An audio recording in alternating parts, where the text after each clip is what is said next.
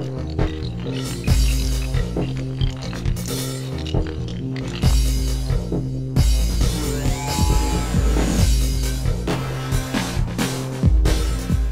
Hello everyone and welcome to Clyde92 TV and this is an update video. I think this is the first update video that I've actually had where I'm just talking about things going on in this channel and there is a pretty good amount of things that are going to be upcoming on this channel and things that I just want to talk to you guys about so you guys have an idea of what is going on and I also want your opinion on a couple things. So the first thing I want to talk to you guys about is my upcoming 500 subscriber special video. I'm pretty close to reaching 500 subscribers which is a pretty big deal for me. We're at 475 I think right now And for that video, I think I'm going to do some kind of Q&A thing. So if you guys have any questions that you want answered in that video, you need to put all of your questions in the comment section of this video because I'm only going to be accepting the comments from this video. So as long as it is a question that you think I can honestly answer, you can put it there and I probably will see it and I probably will answer it in my 500 subscriber video. And the only other thing I really want to talk about in this channel update actually has to do with the future series that I am considering putting on this channel. In case you guys didn't know this, I recently uploaded episode 17, I think it was, of my Milwaukee Bucks My GM, and I did 20 episodes of my Rams Connected franchise, so I think I'm obviously going to go more than 20 episodes on the Bucks My GM. And the reason why I am telling you guys that is because I am considering making a new series on this channel. It would be called The One Man Show, and in this series, I would basically go online,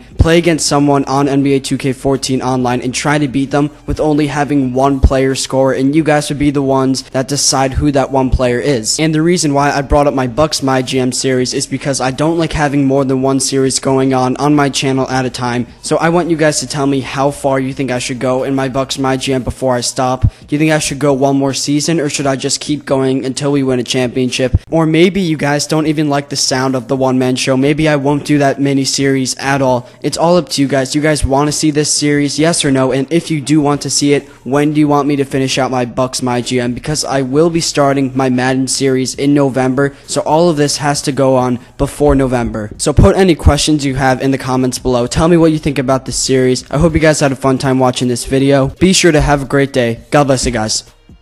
Bye.